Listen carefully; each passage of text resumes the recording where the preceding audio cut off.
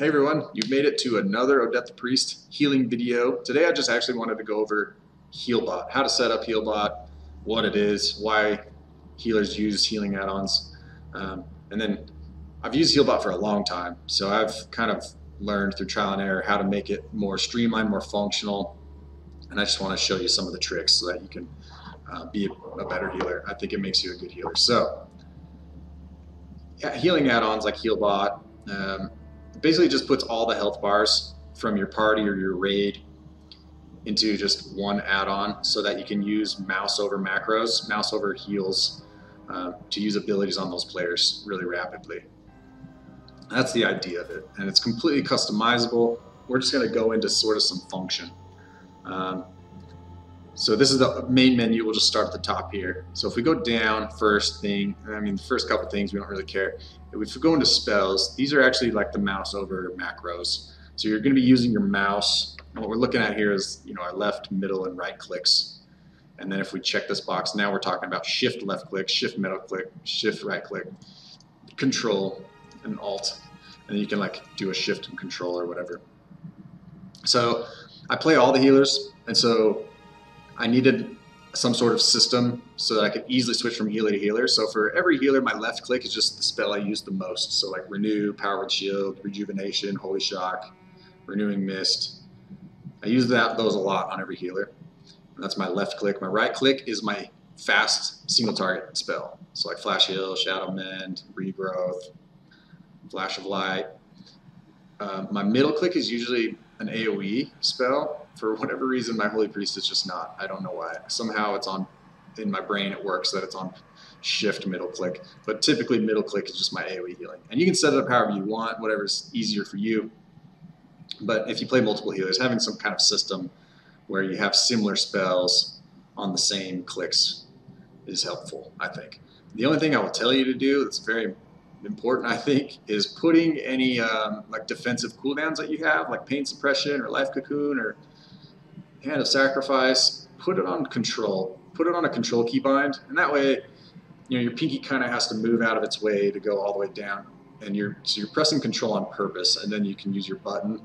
That way, you'll never fat finger some like a big cooldown that you need. You'll never fat finger pain suppression um, if it's down on control. I would recommend getting used to that, putting your big cooldowns on control. So, but yeah, just whatever's comfortable for you, it'll work. Um, so the next few things, I wanted to talk about bars, so we don't really care about much of this. So if we go down to headers first, so I don't play with headers, but you can turn headers on, and then it tells you like group one, group two, group three, group four, but you can also do like make all sorts of different headers, like main tanks, healers, whatever. Um, for me, when I have like headers, uh, it just feels like I have to dodge dead space in my add-on when I'm just trying to click health bars. I have to like kind of dodge around headers, and I, I don't like that. I, so I turn off headers, and then it just short, you know, everything's kind of more compact and it's just health bars. I don't have to dodge. I'm not. I don't have any dead space. And kind of in the same vein as that, um, if we go down to bars, the row spacer and column spacer. So you can put like spaces in between your health bars. No, turn all those down to zero. You don't want any dead space. You don't want to be like aiming your mouse. You know, it just slows you down, slows down your output. Just turn them all down to zero. This number of columns, you can, so I, I keep it at one because I play a lot of five mans and it just puts all five people in a column.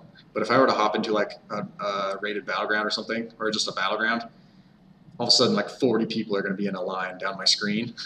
So you can just fix that pretty easily just by changing the columns. So it'll break it down into, instead of one column of 40 people, I can do like four columns of 10 people or whatever.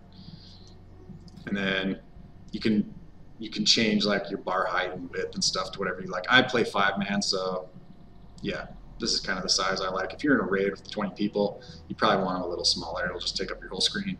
So yeah, whatever's comfortable. This is important. So I came to this place for a reason because if I do this correctly, and I won't die, and then I can show you something. Okay, so my background bar, so we're in bars, background bar, I've turned my opacity all the way down to zero. because it's turned up, like what the hell's going on here, right? Like I don't know who's what health are you missing, like what's going on here. I can kind of see some health, but just like visually, you don't know this guy's in trouble necessarily. Now you know he's in trouble. Now you know he's at 10% health and he's about to die. So turn your background bar. You can give it maybe a little bit of background or something if you want, but just get it low, turn it pretty far down. And then out of range, turn that far down as well. So if they're more than 40 yards away from you in like a raid setting or something, it'll just gray out their bar a little bit. It, it, won't have color. And so then you're not trying to like waste spells clicking on them. You just know they're out of range and hopefully someone else. Or you can try to run to them like a good healer, but just hope the Holy Paladin has them and, and you'll be fine. The other thing, okay, so incoming heals. So right here, if when I'm casting this flash heal, you can see this like small bar coming.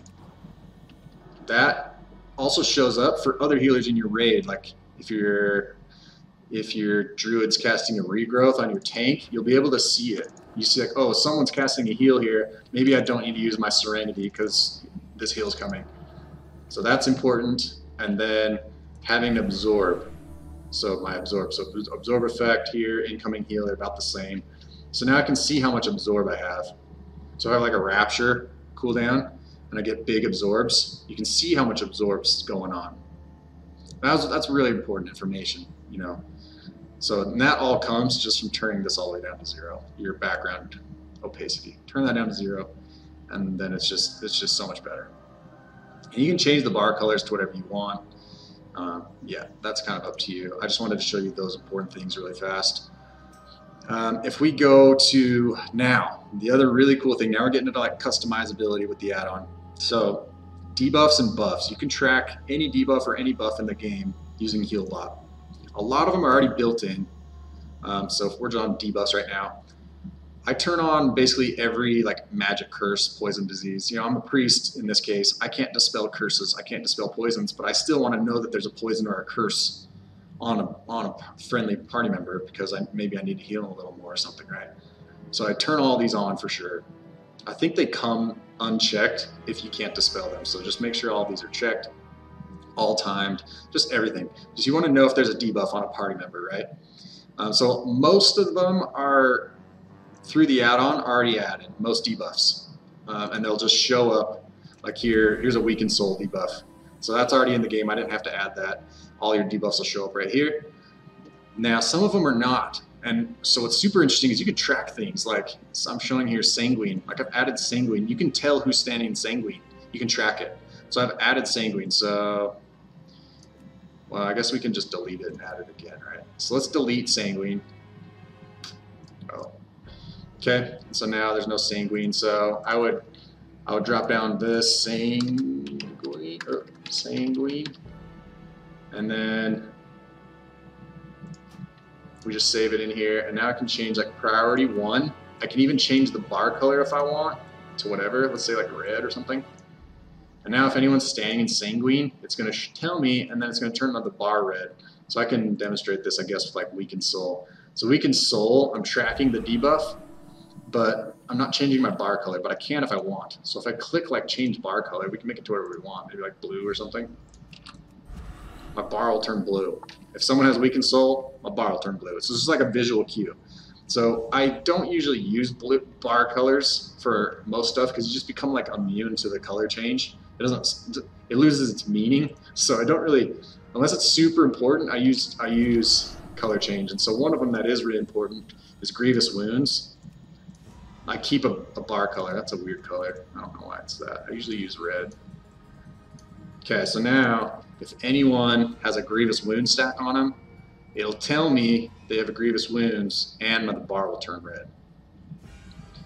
So and you can do that with any debuff, whether it's like from a from an NPC or a bad guy or whatever, or from self-inflicted debuffs like forbearance is probably something important to track maybe like hypothermia from a frost mage, or just mages in general, I guess, but mostly a frost mage because you want to know if, as soon as they can if, if they can ice block again.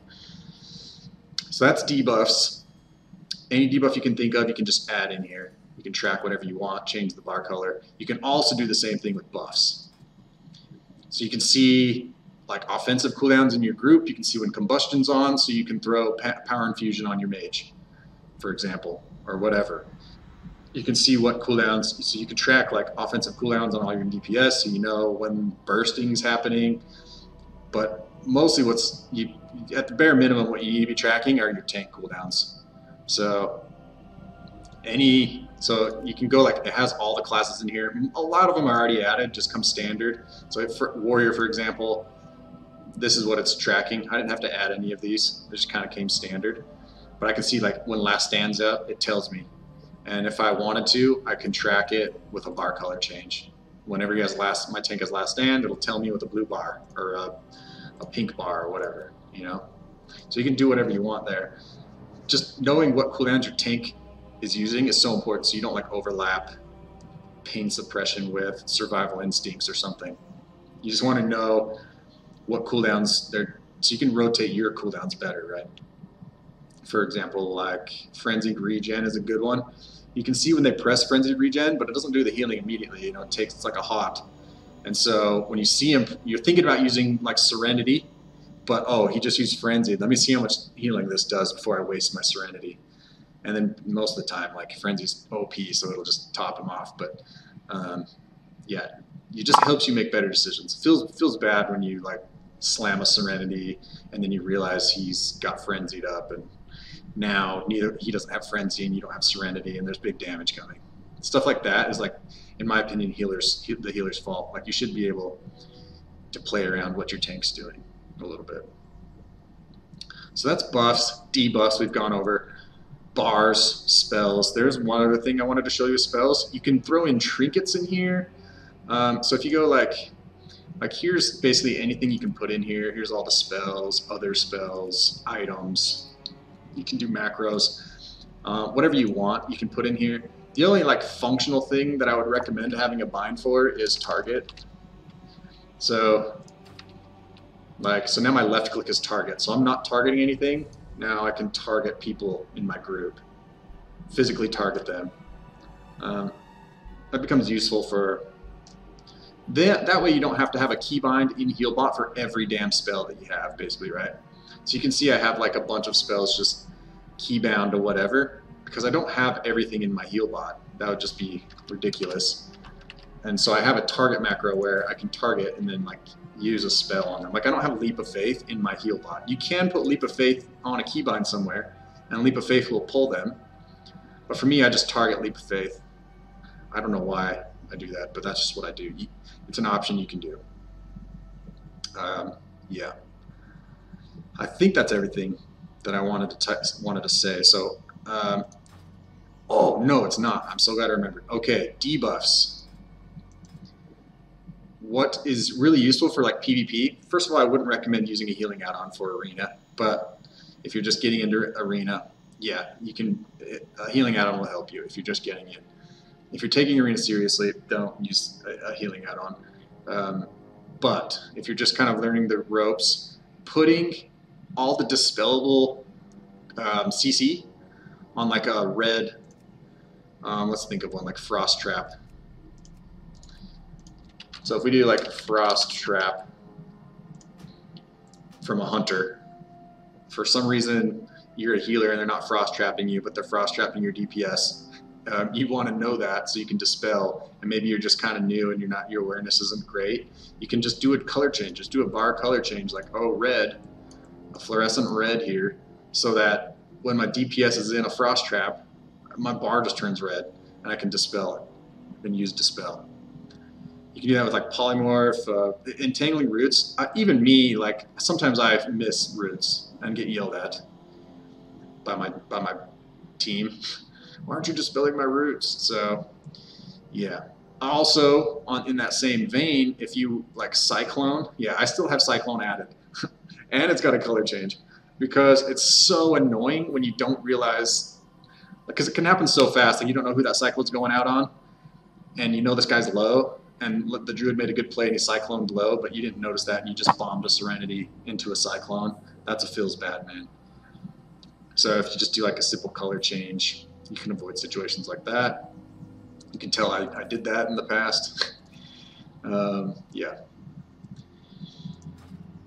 Um, I think that's everything. So that should make it a lot more functional. Basically, kill the dead space, get rid of group headers, get rid of like side space or space in between like rows and columns. Um, and then put your big cooldowns down on control and then track buffs and debuffs. So hopefully you should be able to know how to do all of that by now. Let me know if you have any questions in the comments below, but um, yeah, hopefully that helps. Let me know if that helps in your gameplay, if you enjoyed it. Um, please leave a like and subscribe, and yeah, I'll be making more videos, so thank you for watching.